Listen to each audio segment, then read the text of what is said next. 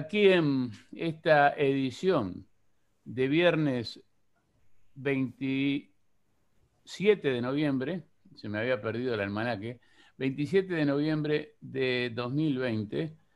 Eh, estamos en el día posterior al sepelio de alguien eh, que fue tan importante para el deporte mundial, para el fútbol especialmente, que, eh, bueno, muy buena parte de los 120 titulares de la prensa internacional anunciando su muerte utilizaron la palabra Dios. Eh, eso solo basta para pararnos ante el, el análisis de este hecho, analizar lo que sea argentino y de Argentina no es tarea fácil, y menos si no somos argentinos y si no estamos en el día a día. Sí tenemos eh, a nuestro favor que amamos la Argentina y como ya hemos dicho muchas veces, más que amigos tenemos casi hermanos del otro lado del río y precisamente eh, con uno de ellos es que eh, queremos dialogar porque además de ser un gran pensador, alguien que no tiene empacho en decir lo que piensa, eh, es futbolero. Eh, no es necesario tener esa condición de futbolero para hablar de Maradona, que es el tema. Pero Luis Risi, nuestro columnista, nuestro amigo, desde hace tantos años, está con nosotros para hablar del tema no solo de la semana ni del mes, suponemos que del año. Buenos días Luis, gracias por aceptar esta invitación para charlar sobre la partida de Diego Armando Maradona. ¿Cómo estás? ¿Qué tal? Buen día, Antonio. Es un gusto estar con ustedes y poder participar siempre en, algún evento del portal, ¿no es cierto? Sí. Y bueno, este, se murió Maradona. Eh, y, esto ayuda a reflexionar, porque de alguna manera eh, Maradona quizás haya sido la mejor representación del argentino medio. Eh, te, hablaba, te decía antes de, empezar este programa, que eh, a mí me gusta hablar de la Argentina desde nosotros. El nosotros no es una creación mía, a mí me gusta la psicología y hace muchos años me, cautivó un psicólogo alemán, Kunkel, que era católico, y que desarrolló lo que se llamó eh, la psicología de nosotros, es decir, el espíritu nosístico de la vida. En la vida no existe el yo, sino el nosotros. Todos tenemos que... ¿Qué significa ser nosotros? Que nos entendemos, que nos ponemos en el lugar del otro, que lo podemos entender y que tenemos que tener convicciones para poder hacer de ese oficio que es vivir cada día un poco mejor. Entonces, te hablo de la Argentina y de Maradona desde el nosotros. No quiero decir en la Argentina o ellos, porque me parece no tiene sentido. Es decir, es como ponerle pimienta a una herida, a una herida que sangra. Entonces, los argentinos, yo llego a una conclusión, somos un mamarracho. Mamarracho, ¿qué quiere decir? Hacer las cosas mal. Y los argentinos venimos haciendo las cosas mal desde hace mucho tiempo. Es decir, Carlos Ibarburen escribió un libro que se llama La historia que he vivido, que abarca más o menos 40 años de su vida. Y yo digo, la historia que he vivido es que tengo uso de razón. Siempre los mismos problemas, siempre los mismos errores, una tremenda incapacidad para ser responsable. La culpa siempre está en otro lado. Nosotros somos inocentes. Y un hecho paradigmático es la famosa mano de Dios de Maradona, y que te demuestra lo que somos los argentinos. No nos movemos en función de valores, sino de fines, que es el populismo más descarnado, según lo expone Laclau, y también Chantal Mouffe en, sus libros, ¿no? Buscamos significantes y fines, y los medios, cualquier medio es lícito. Y entonces Maradona, que logra un gol, que fue, facilitó seguir avanzando en la Copa del Mundo, recurrió a la trampa. Hicimos mérito de la trampa. Porque en el fútbol, si algo que está prohibido es usar la mano, salvo el arquero. Hicimos mérito de la trampa y lo elevamos a la categoría hasta religiosa. Yo por eso en la nota puse la mano de Dios con minúscula, no la puse con mayúscula. Pues yo no quiero agraviar a Dios. Eh, Maradona es la expresión, perdóname, para terminar. Maradona es la expresión de la Argentina. En lo bueno y en lo malo, que es mucho más lo malo que lo bueno. Es así. Eh, yo cuando eh, comenzaba este, este segmento decía que me siento habilitado porque amo a la Argentina y tengo muchos este, afectos desde ese lado del río hace más de 50 años, bastante más de 50 años que tengo contacto con, ese país y con su gente. Y este, entonces eh, me pareció que lo mejor era charlar contigo porque justamente ya con esta introducción ya nos pusiste en tema, ya nos este, ubicaste en lo que tenemos que hablar. Y precisamente la mano de Dios eh, no es solamente el gol a los ingleses, eh, la mano de Dios es la viveza criolla, la mano de Dios es todo lo de que este, no solamente los argentinos, aquí ya metemos a, los rioplatenses, nos jactamos de tener la viveza criolla. Eh, pero digo, a mí lo que me impactó ayer, y digo ayer, no anteayer, cuando, cuando murió quedé pasmado, la verdad que no me lo esperaba, si bien este, eh, se sabía que podía pasar en cualquier momento, eh, porque desde, no sé, desde hace 20 años, desde que le pasó lo que le pasó en Punta del Este, podía haberse muerto en cualquier momento.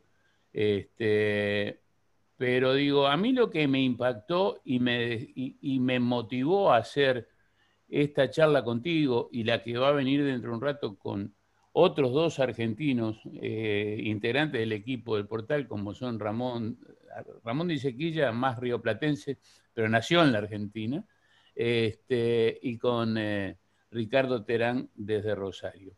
Pero digo, la mano de Dios arranca eh, con el pecado, como decís vos en tu nota, que publicamos el mismo día de la, muerte con el título Se fue Diego Armando Maradona, eh, posibilita, o sea, justifica que haya pasado todo lo que pasó ayer.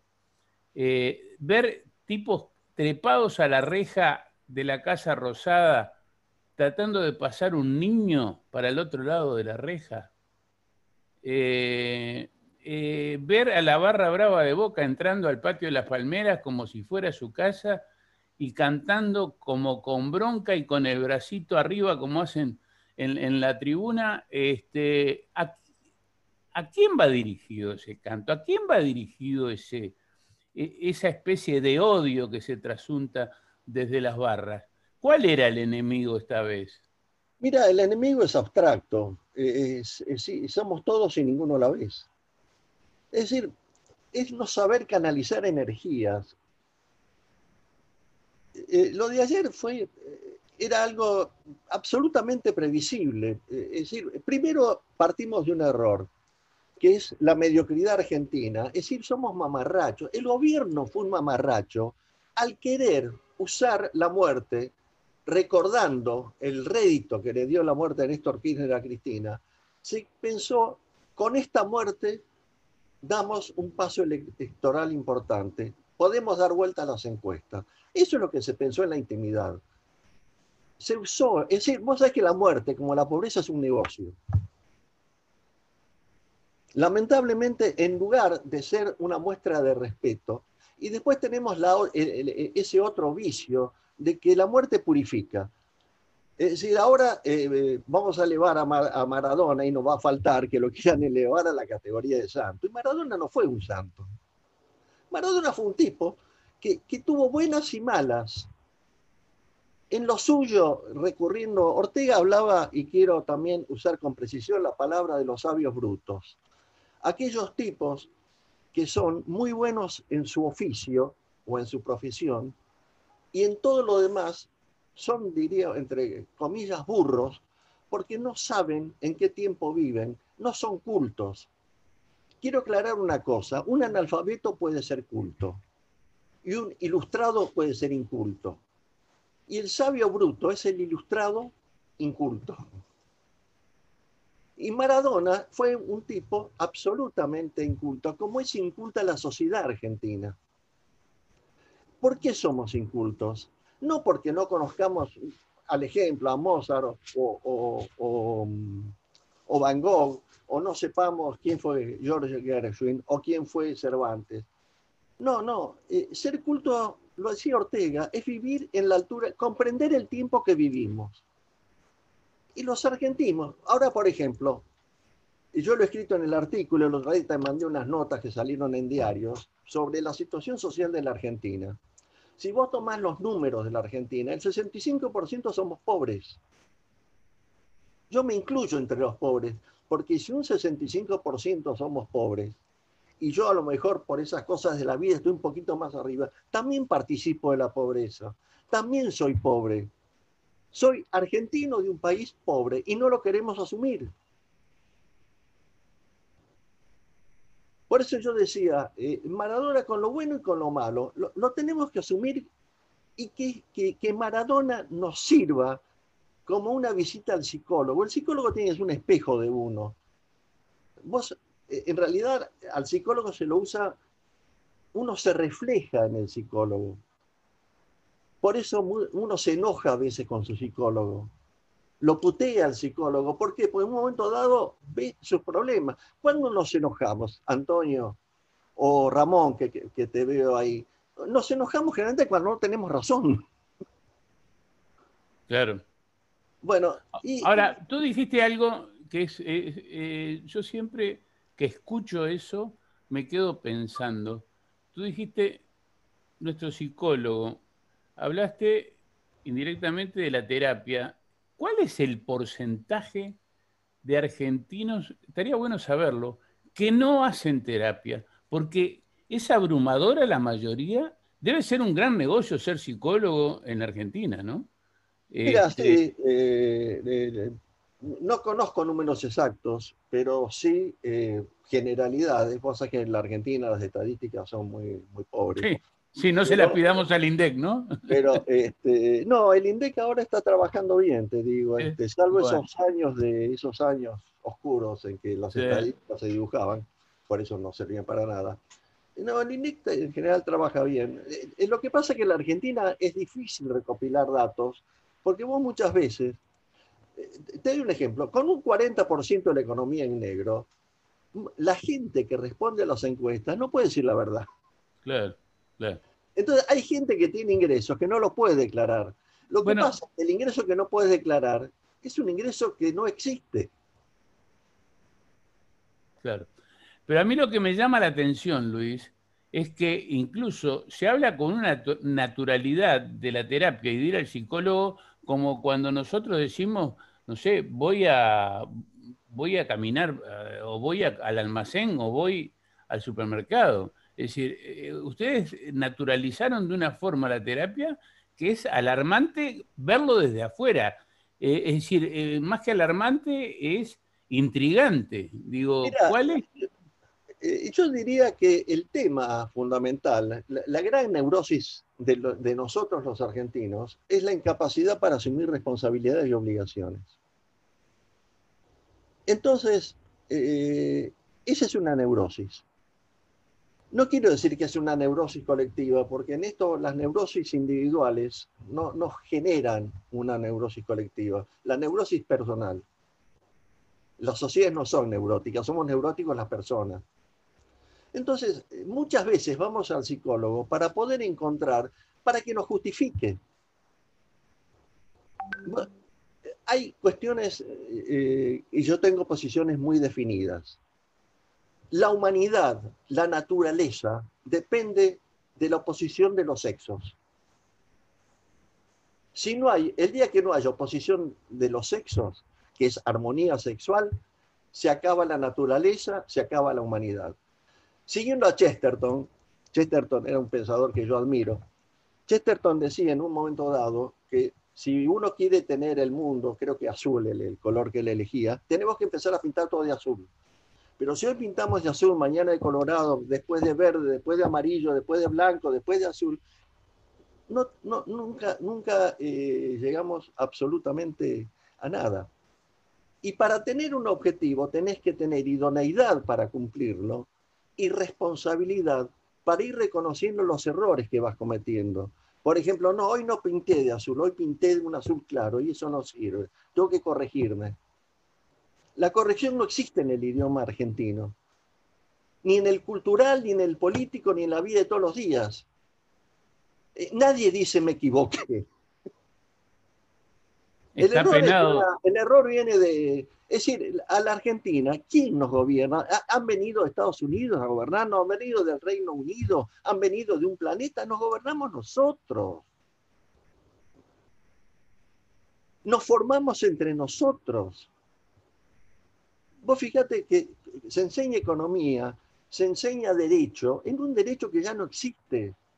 Yo por eso estoy ideando esto que está empezando a arrancar, que es eh, ver la realidad. Eh, el tema no es solo argentino, lo quiero aclarar. ¿eh? Yo hablo de la Argentina, pero hay un fenómeno general, es decir, el mundo está perdido. En el mundo faltan, es decir, se ha perdido, eso lo desarrolló mucho Simón Bauman, cuando habla de, la cultura líquida, la, la, liquidez de la política, en busca de la política. Es decir, hoy no, no, tenemos valores, tenemos fines. Vos fíjate, a los, a los gobiernos dictatoriales los criticamos porque no respetaban la constitución, sino que querían cumplir fines. Y el populismo es, es lograr fines, no importa cómo los logres. Por eso, para mí, una de las, el mejor libro de política que se ha escrito hasta ahora es Lady Macbeth, la historia de Macbeth. Es el mejor libro de política. Cuando vos fíjate, cuando la gente dice eh, el fin justifica los medios y recurre a Maquiavelo, el rey Maquiavelo fue un moralista extremo. Lo que enseñó Maquiavelo, si uno lo lee con cuidado, es que el fin impone medios. Y nosotros los argentinos queremos lograr fines sin usar los medios idóneos. El fin justifica los medios. Se explica, pero eh, pristinamente, en la tragedia de Lady Macbeth. Ella lo dice. No podés conseguir fines innobles usando medios nobles.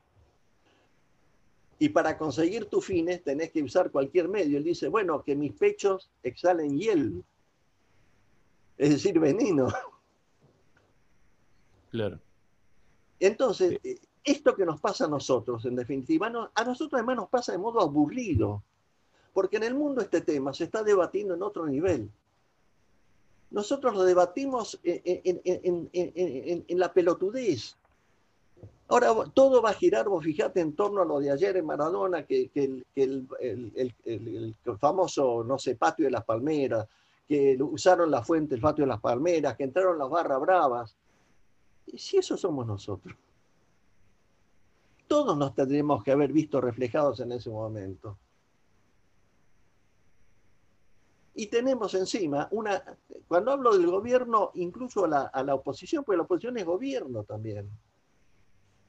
Entonces, una sociedad sin dirigencias que, hace culto del agravio, pues tenemos dos tipos de agravios, el agravio paquete y el agravio grasa. Eh, eh, tenemos, por ejemplo, la pobreza. Yo en la Argentina el 65% de pobres. Entonces, en vez de decir hay que sacar a la gente de la pobreza, dignificamos la pobreza. Yo te pregunto, ¿se puede dignificar la pobreza? La pobreza es, es, una desgracia. Es imposible. Es decir, en una sociedad tiene que haber más o menos un 4 o 5% de pobres, que además no son los mismos pobres. Es inevitable porque la vida humana es así Siempre va a haber un 4 o 5. Lo que no puede haber es un 65%. Y entonces no, vamos al pobrismo. Que ahí es el otro error de la iglesia, ¿no es cierto? Yo soy católico, pero me, molesta que la iglesia quiera dignificar la pobreza. Eh, para redondear, Luis, haciendo un paralelismo con lo que vos mismo citabas de la muerte de Néstor Kirchner, eh, nos venimos a el velatorio de ayer en la Casa Rosada. ¿Cuánto estuvo Cristina parada acariciando el cajón? Mira, eh, es suficiente que haya estado un segundo. Transmitió la imagen que quería transmitir. Después se reunió con De Pedro para echarle la culpa al gobierno de la ciudad por una orden que había salido del gobierno, que fue eh, empezar a desarmar eh, toda esa cantidad de gente que venía por la Avenida 9 de Julio, para los que conocen Buenos Aires, la Avenida 9 de Julio y Avenida de Mayo, más o menos deben ser cinco o seis cuadras de la Casa de Gobierno, este, y la gente venía desde Constitución, que son unas 10 cuadras. Entonces, como ya se sabía que el velorio terminaba, e incluso habían ocurrido disturbios dentro de la propia Casa de Gobierno, se dio orden de que se empezara a desarmar eh, esas columnas de gente para que no llegaran a la Plaza de Mayo. Fue una decisión tomada en conjunto. No sé si se ejecutó bien, si se ejecutó mal, pues también te tenés que poner en el lugar de policía que los están cagando a botellazos o a piedrazos. Es decir, eh, por televisión habrás visto tipos que iban con palos. Y que provocaban. Es decir, es, decir eh, eh, ese nivel de violencia latente que tenemos los argentinos, un incidente de tránsito puede terminar en un cuchillazo. ¿Y por qué esa violencia latente? Porque no damos pie con bola. Claro dicho en, griego, como diría este Juan Carlos de Pablo. No damos pie con bola. Y, está el otro tema, ¿queremos dar pie con bola? Eh, es increíble, ¿no? Porque partiendo del propio Maradona, siguiendo con todos los genios que ha producido la Argentina en las distintas disciplinas, ya sea en el espectáculo, ya sea en la ciencia, ya sea en la literatura, en el deporte, eh, cada día más nos cuesta creer cómo es que no se pueden poner de acuerdo este, para de una vez por todas aflojar con esto, parar esta, caída libre, ¿no? Vos fíjate una cosa, Antonio, que, yo también en, en, lo que he viajado, en lo poco mucho, según con quien compare, comparando con unos no viajé nada, comparando con otros viajé bastante. Y nos olvidamos de Juan Manuel Fangio. Vos fíjate, Fangio fue un embajador de la Argentina y, lo sigue siendo hoy día, con, con otro perfil. Sin embargo, el héroe es Maradona. Si nosotros nos ponemos a pensar lo que consiguió Fangio en esas carreras que se andaba a 180 kilómetros por hora con un casquito de, mierda y unas antiparras compradas en el kiosco de la esquina, que, además de su habilidad deportiva tenía la, idoneidad mecánica, que era lo que lo distinguió de toda esa élite. Y lo último, para terminar con, Maradona, este, yo a Maradona, como dije en la nota, yo no soy quien para juzgarlo. Yo no lo juzgo. Digo, Maradona es un manual de la vida humana, con lo bueno y con lo malo. Entonces, lo mejor que podemos hacer de Maradona es, es decir, saber leer su vida. Y creo que Maradona alguna vez lo dijo, este, hoy en, uno de los programas, de los tantos programas, como una vez se refirió a la droga y diciendo, bueno, este, el tema es no probarla. Sí.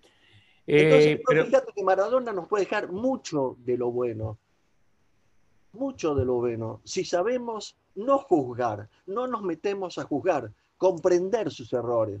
Por eso yo puse en el portal una, un párrafo que pienso que debe haber eh, despertado alguna intriga, que es el paso de, de, Maradona por el Barcelona, donde prácticamente fracasó. Y donde se puede, yo creo que ahí, yo no puedo revelar el nombre porque es secreto de la persona que me, contó esa historia, pero acuérdense de Maradona con sus manos sobre la cintura. Sí, lo dijiste muy claro y, quedó, quedó este, patente allí. Entonces, eh, aprendamos de Maradona. Es el, mejor homenaje, si realmente lo respetamos en lo que fue, es aprender de su vida. Eh, yo creo que cobra cada vez más importancia la frase de Fontana Rosa que dijo, no me importa lo que hizo Maradona con su vida, sí me importa lo que hizo con la mía, algo así. Eh, y, la influencia que ha tenido sobre muchísima gente se puede resumir en esa frase, ¿no?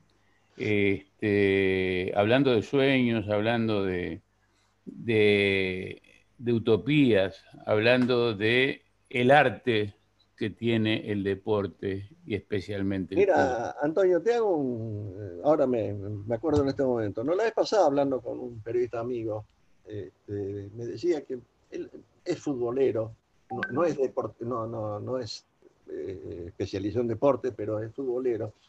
Y me contaba que había una reunión con chicos de un club, este, creo que de ascenso, no, no me acuerdo, no viene el caso el nombre del club y que en un momento dado uno de los chicos le dice, no, este, yo por ejemplo me acuesto temprano porque no quiero que me pase lo que le pasó a Maradona. Claro. Fíjate la enseñanza. Claro. Es, eso es lo que tenemos que aprender. Es decir, la historia siempre nos enseña lo que no tenemos que hacer. Maradona en eso fue un maestro. Sí, y dejó mucho para ver. Es fundamentalmente eso lo que no hay que hacer Luis, te, agradezco este rato. No me equivoqué. Eh, nos diste una mirada, como siempre, diferente, una mirada para, para pensar, para analizar, para seguir adelante este, con, esta, con este análisis que ahora vamos a hacer en un rato. Y apareció Ramón ahí justamente para saludarte y para hacer el pase hacia la otra instancia. Ramón, un gusto saludarte. Una alegría, Luis Alejandro, y como siempre, es un placer escucharte hablar. Este, has nombrado a, dos personas con las cuales me deleito leyendo, que son Chesterton y Ortega, y veo que los dos este, andamos por el mismo camino de, nuestras lecturas eh, que a veces nos llevan a las madrugadas. Ramón, podríamos decir con García Morente, tenemos un mismo estilo. Este, así es. Este, o sea, como siempre, y tu poder de síntesis y tu valentía. Eh, bien, bien, Luis Alejandro. Gracias. Nos vemos, Luisito. Un abrazo grande y seguí con el estudio, que hay que seguir viviendo, hay que seguir pagando las facturas. No me digas que ayer me saltó un arreglo del auto 500 dólares. Mamita querida. Y en eh, Argentina. perdón, euro, euro. Euro, bueno. Es Chao. Nos vemos, nos vemos, Luisito. Chao. Gracias.